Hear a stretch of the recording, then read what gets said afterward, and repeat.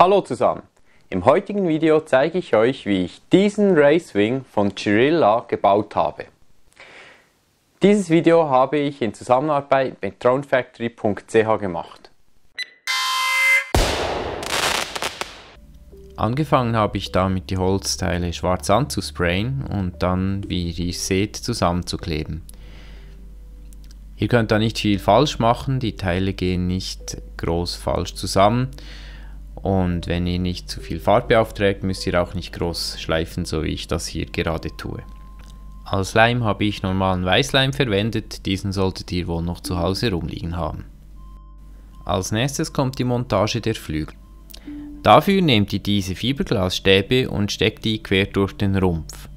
Die vorgefrästen Nuten in den Flügeln füllt ihr dann mit dem PU-Line, ich habe hier konkret den Gorilla Glue verwendet, und auch an der Innenseite des Flügels, da wo der Flügel mit dem Rumpf zusammenkommt, tragt ihr eine gute Menge Leim auf, so damit sich diese Teile perfekt zusammenfügen.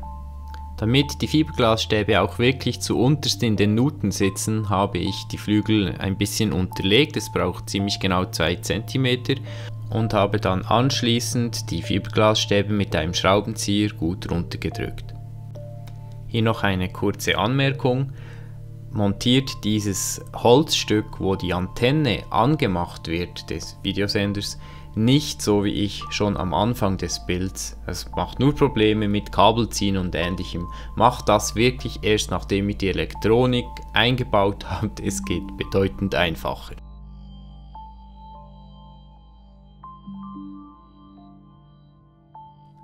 Nachdem dieser Leim getrocknet ist und dementsprechend aufgequollen ist, habe ich nun die überschüssigen Teile abgeschnitten und weggemacht. Teilweise habe ich auch ein bisschen geschliffen, einfach so, dass der Flügel nicht verletzt wird, aber dass die Form möglichst perfekt bleibt. Im TBS PowerCube Racewing ist alles, bis auf die Servos, was man für einen Racewing braucht, vereint. Der integrierte und automatisch startende Wizard macht einem die Kalibrierung der Fernbedienung äußerst einfach. Wie man sieht, muss man einfach alle Kanäle äh, von Minimum bis Maximum ausschlagen lassen und schon ist das erledigt. Um in das OSD zu kommen, muss man Throttle 0 und Ja ganz links haben für 3 Sekunden. Währenddem ihr hier ein bisschen die Einstellungen seht, was ich da so rumgeklickt habe und was ihr für Möglichkeiten habt, sage ich vielleicht noch etwas zu der speziellen Situation mit den Channels. Da kein Flight Controller in Winglayer Stack mit dabei ist, muss die Fernbedienung, also in meinem Fall die Taranis, die ganze Steuerung der Elevons und so weiter übernehmen. Also ich muss ein Signal senden, dass wenn ich äh, Elevator oben haben will, dass zwei Channels zu 50% hochgehen. Das ist eine Standardkonfiguration, die könnt ihr mit dem Wizard im Taranis äh, Companion ganz einfach machen. Das Problem dabei ist, dass ihr somit dann nicht mehr die richtigen Channel Mappings und Werte habt, um das OSD wirklich steuern zu können. Dies lässt sich sehr einfach umgehen, indem ihr bei den Crossfire Output Channels das so ummappt, dass ihr Channel 1 bis 4 standardmäßig braucht für das OSD und dann 5, 6 und 7 zur Steuerung des Flügels über die Servo-Outputs einfach rausgebt. Die Konfiguration meiner Taranis habe ich unten in der Videobeschreibung verlinkt. Eine Videoanleitung, wie das genau konfiguriert, folgt auf meinem Channel in Kürze. Beim Winglayer Stack ist auch der FP Vision mit integriert. FP Vision ist ein Unify Pro, direkt im Stack integriert und auch über das OSD direkt steuerbar. Wie ihr hier sehen, Band, Channel, wie stark und so weiter, das kann man alles direkt super einfach über das OSD einbauen. Man sieht die Frequenz, es war wirklich äußerst angenehm. Die ganze Konfiguration für, den, für die Elektronik hat mich circa 4 oder 5 Minuten gekostet. Die verschiedenen Komponenten Winglayer und die FP Vision sind zusammen als TBS PowerCube Racewing erhältlich. Ich kann dies wirklich empfehlen. Es hat sehr viele Dinge sehr einfach gemacht, wo man sonst viel rumfummeln müsste und Dinge unangenehm konfigurieren. Als nächstes kommt die Montage der Kamera. Da das mitgelieferte Metallbracket nicht erlauben würde, die Kamera im Nachhinein einfach wieder zu wechseln, falls man etwas reparieren müsste zum Beispiel, habe ich ein Teil 3D gedruckt, das es ermöglicht, die Kamera jederzeit wieder aus- und einzubauen, ohne den ganzen Flügel auseinandernehmen zu müssen. Wie immer könnt ihr die von mir 3D-designten Teile natürlich bei Thingiverse unter dem eingeblendeten Link herunterladen. Da leider keine TBS-Kamera verfügbar war, habe ich eine Foxeer Arrow genommen. Die ist sicher auch nicht schlecht, das Problem ist einfach, die Pins sind ein bisschen anders belegt und wie ihr seht, musste ich die da ein bisschen umarrangieren.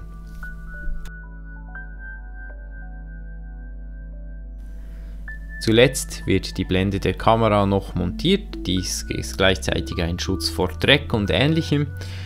Und dafür braucht ihr diese zwei sehr kurzen Fiberglasstäbe, die ihr quer durchschiebt und dann dieses Holzstück entsprechend montiert. Die gesamte verwendete Elektronik ist von Team Black Sheep.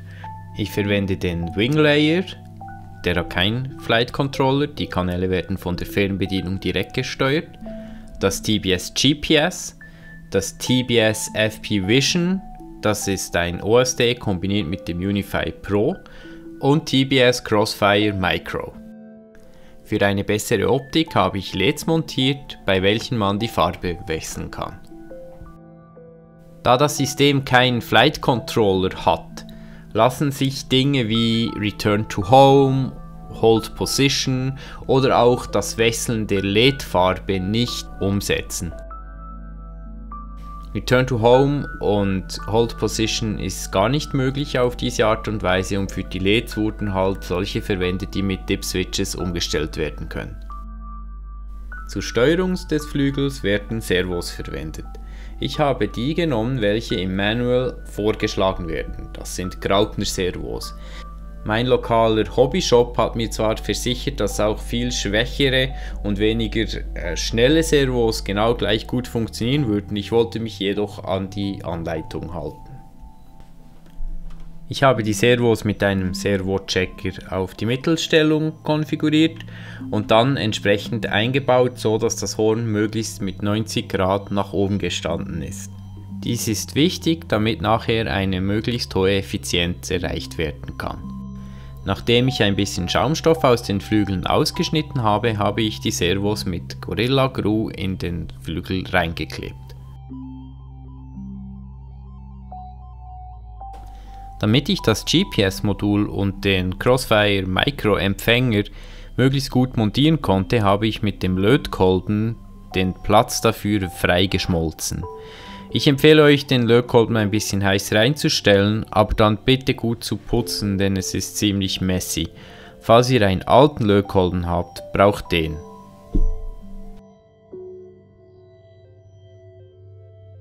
Da der Gorilla Glue weiß wird, wenn er getrocknet ist, habe ich alle Elektronik, die Servohörner, Kabel und so abgeklebt und dann den Flügel noch einmal schwarz gesprayt, bevor ich begonnen habe, ihn zu laminieren. Beim Laminieren kann eigentlich nicht viel schief gehen, solange ihr sauber arbeitet. Die zwei Balsaholz Elevators werden mit dem Orangen eingepackt und das Transparente ist für den Rest des Flügels. Damit die orange Folie nicht verletzt wird, habe ich das Haushaltspapier, in welches die Elevator geliefert wurden, direkt als Unterlage verwendet. Damit die Folie aufgetragen werden kann, wird ein spezielles Glätteisen verwendet. Dies ist in diversen Modellshops erhältlich und wenn ihr es auf ca. 160 Grad einstellt, könnt ihr die transparente Folie direkt mit dem Schaummaterial des Flügels verschmelzen lassen. Testet es aber unbedingt zuerst an einer kleinen Ecke, so dass ihr nicht direkt euren Flügel zerstört. Die transparente Folie hat eine matte und eine klare Seite. Die klare Seite ist die, auf welcher ihr bügelt, die matte gehört gegen den Flügel.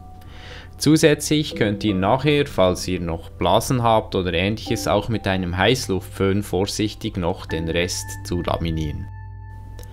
Da ich die Antenne des TBS Crossfire Micro senkrecht montieren werde, durch den Flügel hindurch, habe ich dafür schon das Loch gemacht und entsprechend die Löcher im Laminat vorgesehen.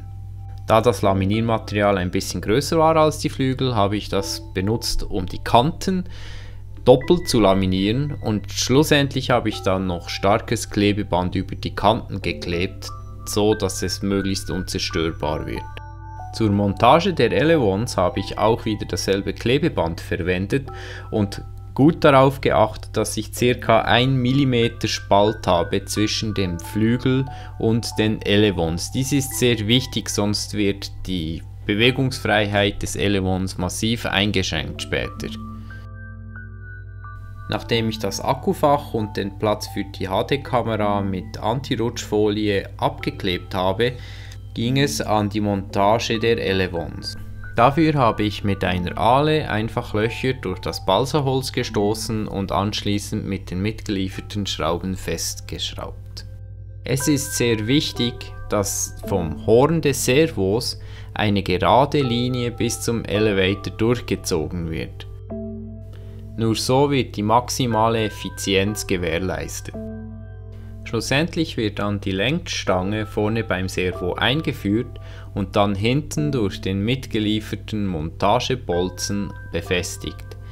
Im Neutralzustand des Servos sollte über der Kante des Elevons zum Flügel ein Spalt von 2 mm entstehen, wenn ihr ein Lineal über die ganze Länge legt.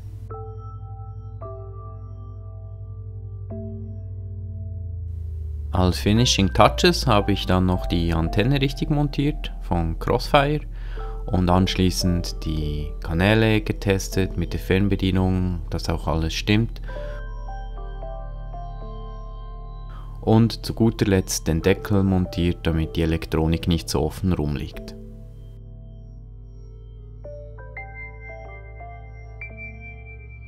Hier nun ein paar Ausschnitte des Maidenflugs meines Wings.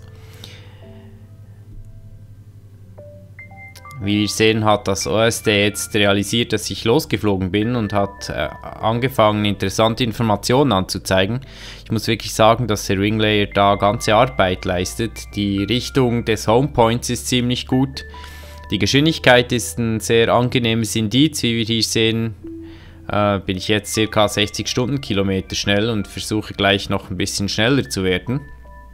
Für den Falle eines Absturzes sind die Koordinaten am unteren Rande des Bildes sicher auch nicht schlechtes.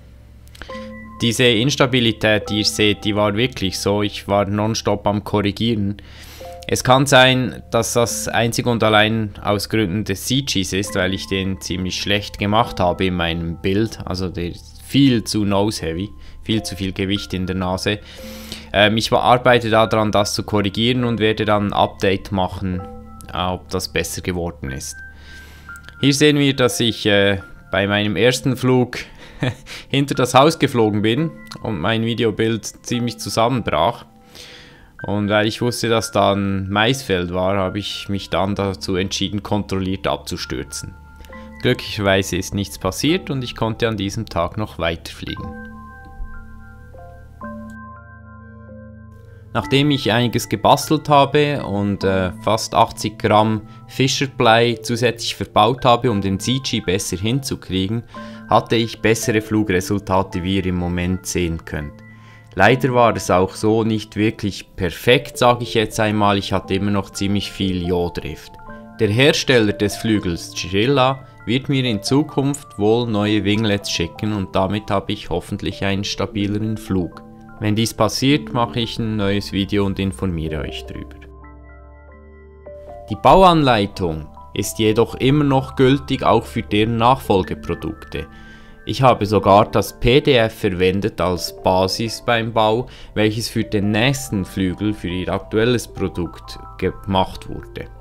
Das ist auch der Grund, warum ich nicht so konkret auf das Produkt eingehe beim Bau, sondern es mehr als allgemeine Bauanleitung für Racewings aufgebaut habe. Alle verwendeten Komponenten sind unten in der Videobeschreibung verlinkt. Zum Schluss möchte ich mich noch einmal bei Drone Factory bedanken. Dank dronefactory.ch war es mir möglich, diesen Wing zu bauen und dieses Review zu machen. Vielen Dank. Hey, vielen Dank fürs Schauen dieses Videos und falls es dir zugesagt hat, findest du hier weitere. Es hilft meinen Kanal sehr, wenn du ihn abonnierst und meine Videos kommentierst, likest und teilst. Und falls du über meine neuen Videos informiert werden willst, kannst du die Benachrichtigungen mit Klicken der Glocke aktivieren. Merci vielmals, ciao zusammen.